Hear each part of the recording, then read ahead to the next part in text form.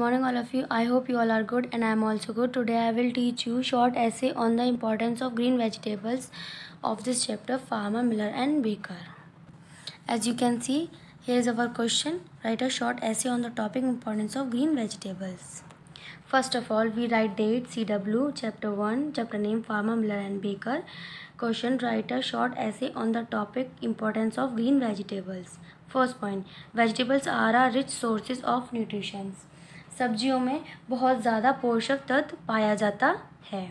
Adding vegetables to our daily food routine makes a healthy diet हमें अपने daily routine में, हमें अपने डेली रूटीन में अपने हेल्दी डाइट अपनी अपनी डाइट को, यानी कि अपने आहार को एक हेल्दी स्वास्थ्य बनाने स्वास्थ्य बनाने के लिए, एक अच्छा बनाने के लिए उसमें हमें सब्जियों को ऐड करना चाहिए। हमें उसमें सब्ज़ियाँ खानी चाहिए।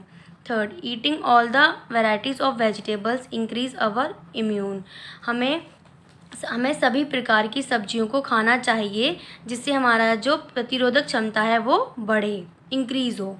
Fourth having more vegetable insist of oily food and junk food helps in eating weight management हमें अपना स्वास्थ्य को मैनेज करने के लिए, यानी कि उसको एक तरीके से वज़न को मदद मिलती है प्रबंध करने के लिए हमें क्या करना चाहिए? ऑयली फ़ूड यानी कि हमें तर, तरलीय पदार्थ जो बहुत ज़्यादा ऑयली होता है और जंक फ़ूड नहीं खाकर हमें बहुत सारी सब्ज़ियाँ खानी चाहिए। Fifth point it is good to eat vegetables regularly to protect our body from diseases सब्ज़ियाँ खाने से लगातार सब्ज़ियाँ खाने से हमारी जो बॉडी हमारा जो शरीर होता है वो बीमारियों से बचा रहता है। Okay students students same as you note this work in your notebook thank you